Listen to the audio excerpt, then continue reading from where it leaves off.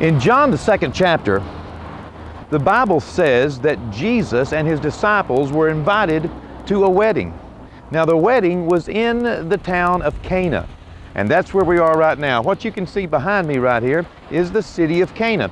It's the modern city of Cana. And it has all of its, you know, the, the houses that are modern and all the stores and all the traffic and everything here.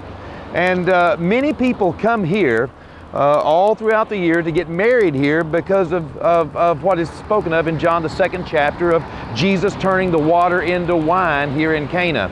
In fact, uh, that's not the only miracle that Jesus did here. Uh, it's also in John the fourth chapter, there was a miracle of a nobleman who had a son that was sick.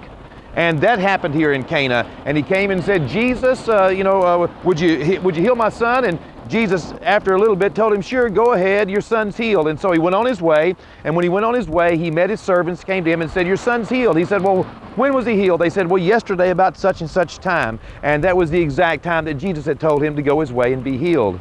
You might also remember Cana out of John, the 21st chapter.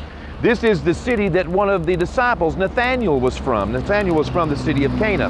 Now, looking at the new city of Cana here, uh, you would you, you know you, you, can almost get lost in all the all the rush. But this new city, and even where people come to these wells around the city, that they say this is the well that Jesus drew the water, you know, had had had the servants draw their water out of. Uh, that's that's really not true.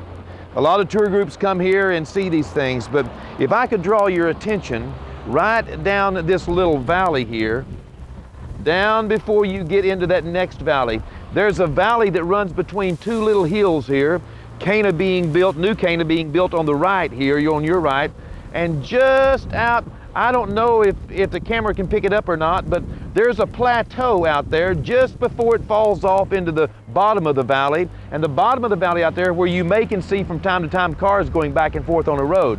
Now, one step up from the very bottom of the valley on this little plateau, uh, it's it's it's kind of maybe you can see a road going through it. It's kind of a little flat place.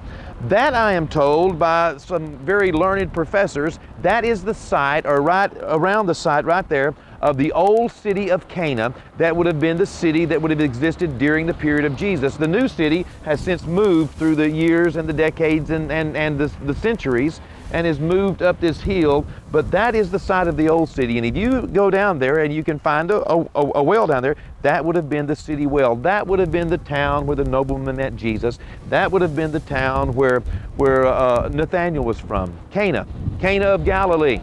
I want to thank you so much. I'm Ron Hammonds, and this is Postcards from the Bible, here from the Galilee. God bless you from the city of Cana, and we'll see you next time on another postcard from the Bible.